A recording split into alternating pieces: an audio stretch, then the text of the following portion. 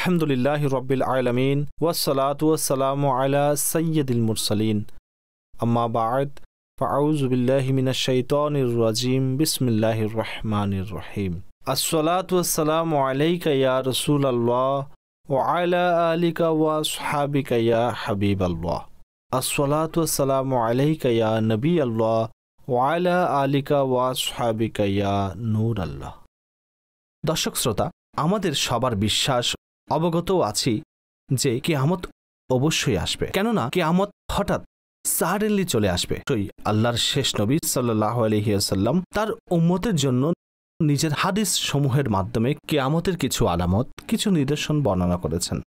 তন্মধ্যে একখানা হাদিসে পাক এটাও রয়েছে। প্রিয় নবী সাল্লাহ আলহিয়াসাল্লাম বলেন যে এমন একটি সময় আসবে যখন লোকেরা গণিমতকে নিজের সম্পদ এবং আমানতকে গণিমতের মাল জাকাতকে মুক্তিপণ মনে করবে এবং ইলমকে দিন ব্যতীত অন্য উদ্দেশ্যে পড়বে। এবং পুরুষরা আপন স্ত্রীর আনুগত্য আর আপন মায়ের অবাধ্য হবে। নিজের বন্ধুকে কাছে আনবে এবং নিজের বাবাকে দূরে ঠেলে দেবে। মসজিদগুলোতে উচ্চস্বরে কথা বলবে এবং তাদের মধ্যে ফাসিক লোকেরা দলের সর্দার হবে। ইতর প্রকৃতির লোকেরা গোত্রের নেতা হবে, গোত্রের পথ প্রদর্শক হবে। মানুষের সম্মান করা হবে তার অনিষ্টতার ভয়ে এবং গান, বাজনা চতুর্দিকে চর্চা হবে। বিভিন্ন ধরনের মাদক লোকেরা সেবন করবে। যখন এই সব কিছু সংগঠিত হবে, তখন সেই সময় লাল অন্ধকারের অপেক্ষা করো। আল্লাহ আকবর। অর্থাৎ রেড কালারের স্ট্রং উইন্ডস, লাল অন্ধকার কি আমাদের পূর্বে আসবে। দর্শক শ্রোতা, এই যে কথাগুলো আমরা শুনছি, এর মধ্যে অনেক বিষয় যেগুলো ডেইলি আমাদের মাঝে হচ্ছে।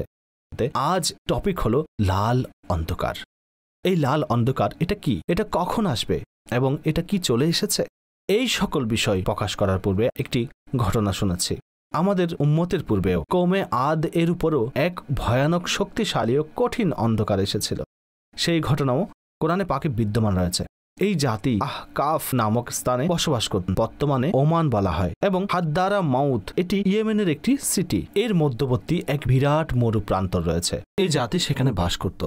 এই লোকেরা বাতেল খোদার ইবাদত করত এবং অনেক দুষ্টু, খারাপ চরিত্রের অধিকারী ছিল। ব্যাড ডিস্ট, ইবেল ডিস্ট এর মধ্যে ইনভলভ ছিল।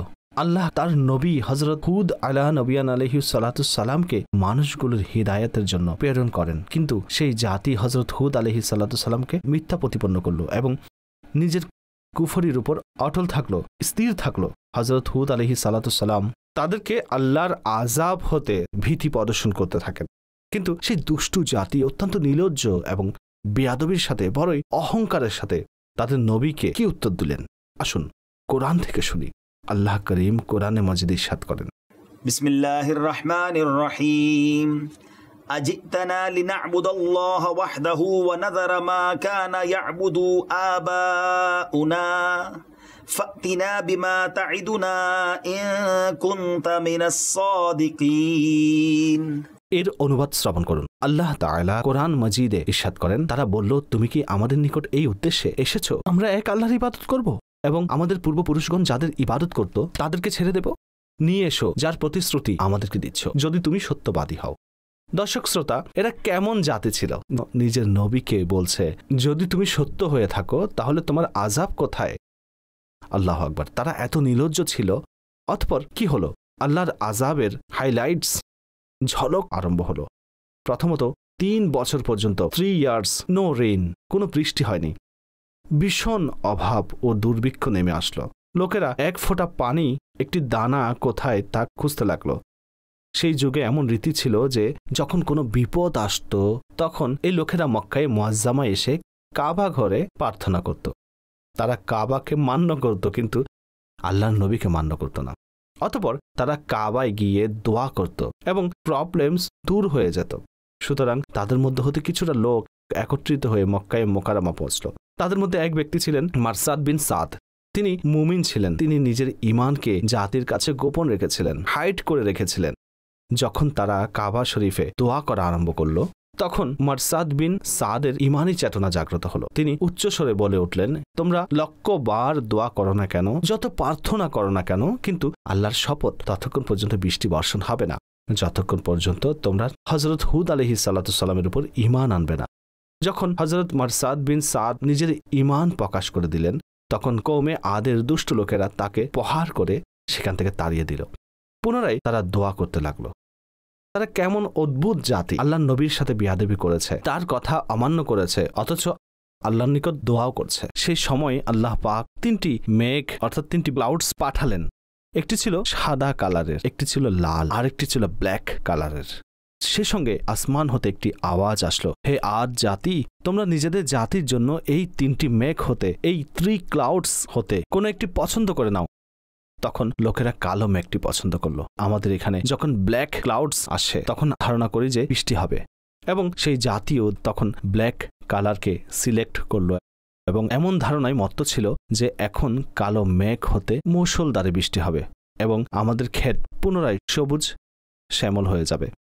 যেভাবে তারা সিলেক্ট করল ব্ল্যাক কালারের যে ক্লাউড ছিল, সেটা কৌমে আদের জনবসতির দিকে, তাদের সিটির দিকে চলতে লাগল। আদ জাতীয় সেই ব্ল্যাক ক্লাউডের পেছনে পেছনে বড়ই আনন্দের সাথে যেতে লাগল। এভরিবডি রেডি খুবই মসুলদারে বৃষ্টি হতে লাগল। হজরত হুদ আলহি সাল্লাম বললেন যে, হে আমার জাতি, তোমরা দেখো, আল্লাহর আজাব তোমাদের দিকে আসছে। কিন্তু সেই মুহূর্তেও হতবাগা লোকেরা তাদের নবীর কথা অমান্য করল এবং বলল যে, কোথায় আজাব কেমন আজাব এই তো ব্ল্যাক কালারের ম্যাগ এই ম্যাগটি তো আমাদেরকে বৃষ্টি দেওয়ার জন্য আসছে। আল্লাহ আকবর। দর্শক, শ্রোতা, এখন আজাব আরম্ভ হলো। এখন পানিশমেন্ট স্টার্ট হলো যখন এই ক্লাউড আদ জাতির জনবসতির কাছে পৌঁছল। তখন মুহূর্তের মধ্যে সেই মেঘ হতে একটি অনেক কঠিন স্ট্রং উইন্ড আসলো, যার এত গতিবেগ ছিল যে ক্যামেলসকে তাদের ওঁটগুলোকে তাদের আরোহী সহ উঠিয়ে নিয়ে গেল। কোথা থেকে কোথায় নিক্ষেপ করল? তার স্পিড এত বেড়ে গেল যে গাছপালা ছিল বৃহৎ আকারের ট্রিজ গোড়া হতে উপড়ে গেল। এটা দেখে আদ জাতির লোকেরা নিজেদের পাথর দ্বারা নির্মিত ঘরে আশ্রয় নিল। সেগুলো স্ট্রং ছিল, কেননা পাথরের তৈরি ছিল। এখন তারা মনে করতে লাগল যে এটা নিশ্চয়ই স্ট্রং উইন্ড কিন্তু আমাদের পাথরের ঘর ভেরি স্ট্রং হাউস এর কি হবে? এটা নর্মাল উইন্ডস ছিল না। এই তুফান ঘূর্ণিঝড় ছিল আল্লাহর আজাব দর্শক শ্রোতা, এত স্ট্রং উইন্ড ছিল যে সেই তুফান দরজাকে উপরে নিয়ে নিক্ষেপ করল। অতপর এত শক্তিশালী উইন্ডস আসলো যে তাদের ঘরের প্রতিটি ইট দুলিচ্ছাত হয়ে গেল এবং এই জাতি সাত দিন ও সাত রাত বিরতিহীন তুফানের মধ্যে ছিল এবং আদ জাতির সকল মানুষ মারা গেল।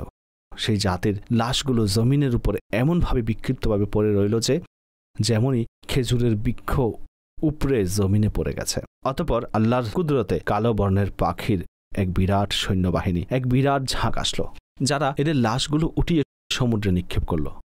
হজরত হুদ আলহি সাল্লাম সেই এলাকা ত্যাগ করলেন। কিছু মুমিন যারা তার উপর এবং আল্লাহর উপর ইমান এনেছিলেন, তাদেরকে সাথে নিয়ে মক্কায়ে মোকারামায় চলে গেলেন। তিনি জীবনের শেষ নিঃশ্বাস পর্যন্ত বাইতুল্লাহ শরীফে ইবাদত করতে থাকেন।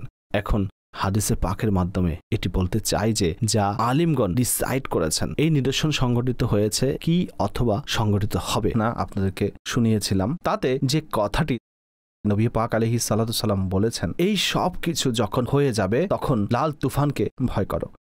এই সব কিছু তো আমাদের সমাজে হতে চলেছে। আজ ওইসব নোংরা চালচলন, ওইসব খারাপ কাজ আমাদের চতুর্দিকে দেখতে পাচ্ছি। আল্লাহ পাকের আজাব হতে আমাদের ভয় করা উচিত।